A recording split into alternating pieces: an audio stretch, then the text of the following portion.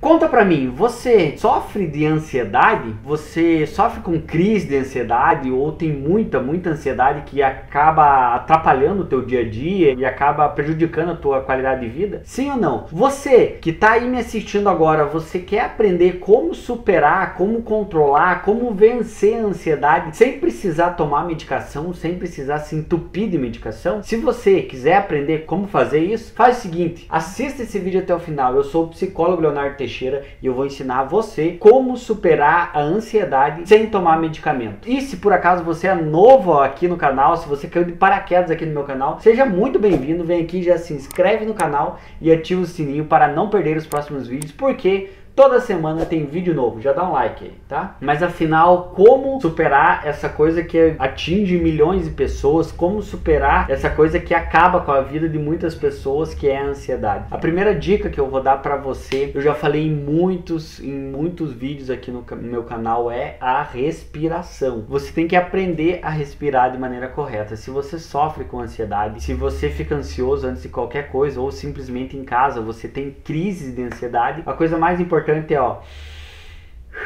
respiração. Respirar da maneira correta. Se você perceber que está começando a ficar ansioso, que você está começando a ficar com taquicardia, coração acelerado, está começando a ficar com sudorese, suar, faça uma técnica de respiração. Faz o seguinte, clica depois nesse cardzinho que tem aqui em cima. Eu vou deixar também o link aqui embaixo na descrição desse vídeo, que é eu ensino você uma técnica para superar a ansiedade, para sair de uma crise de ansiedade, uma técnica de respiração. Cada ponto da técnica de respiração eu ensino nesse vídeo. Basicamente é saber puxar o ar segurar o ar e soltar o ar da maneira correta. Então a primeira dica para você superar a ansiedade sem medicamento é faça técnicas de respiração e aprenda a respirar da maneira correta. Da mesma forma, a segunda dica que eu vou dar para você, para você superar a ansiedade, já falei em vários vídeos aqui meu também é faça atividade física. Eu bato nessa tecla porque o corpo e a cabeça, o corpo e a mente estão ligados. Não adianta você estar tá com a tua mente muito boa se o teu corpo não tá bom, se você tá com algum problema físico ou vice-versa. A melhor forma de você superar a ansiedade, além da respiração, fazendo uma caminhada, se você sair ao ar livre, se você pedalar, se você praticar algum esporte, pode ter certeza que vai melhorar a tua ansiedade. Se você praticar esporte regularmente, não uma vez na vida só. A terceira dica que eu vou dar para você controlar a tua ansiedade sem medicamentos é perceba os teus pensamentos que te levam para ansiedade. Por que que eu tô falando isso? Geralmente quando as pessoas estão com ansiedade, elas começam a sentir ansiedade. Geralmente a ansiedade é um reflexo de algo, um sinal de algo. A ansiedade ela sinaliza que algo não está bom na cabeça da pessoa. Geralmente a pessoa fica com ansiedade quando ela começa a lembrar de algum problema que ela teve, ou de alguma situação que aconteceu com ela, ou de algum problema que ela tem, ou de algum relacionamento que ela teve, de alguma situação que aconteceu com ela, ou de uma traição que ela passou, sei lá, tô dando exemplos. E aí, a partir disso, ela começa a sentir ansiedade. Então eu quero que você faça a partir de agora um exercício de autoconhecimento, um exercício de percepção. Comece a perceber os teus pensamentos que te dão ansiedade. Comece a perceber os gatilhos que te levam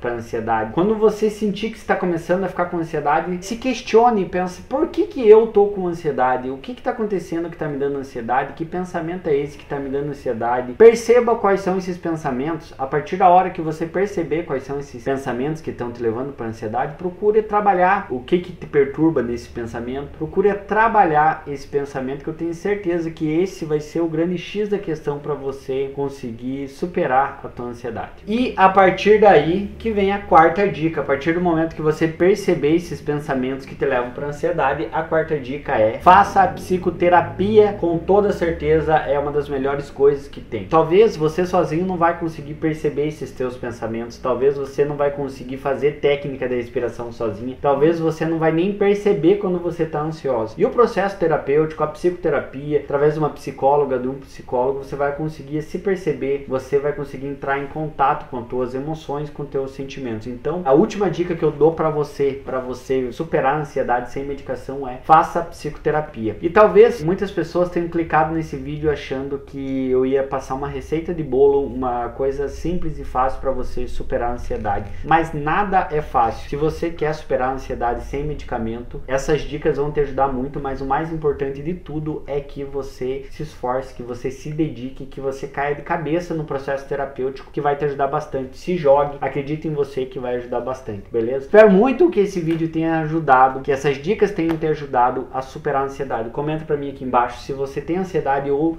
como você faz para superar a ansiedade. Comenta para mim aqui embaixo. Espero muito que você tenha gostado desse vídeo. Se você gostou e ainda não é inscrito, está perdendo tempo. Você aí está perdendo tempo. Tem muito conteúdo bom de psicologia aqui, ó. Se inscreve no canal aqui embaixo. Se inscreve no canal e ativa o sininho para não perder os próximos vídeos. Todo, toda semana tem 3, 4 vídeos novos relacionado à psicologia aqui no canal. E se por acaso você quiser me conhecer melhor, ver mais conteúdo sobre psicologia, vai lá no meu Instagram, me segue lá no Insta, Leonardo F. Teixeira.